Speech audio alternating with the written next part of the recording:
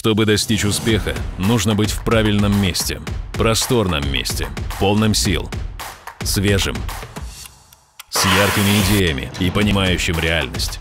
Нужно ставить цели и выходить на высший уровень.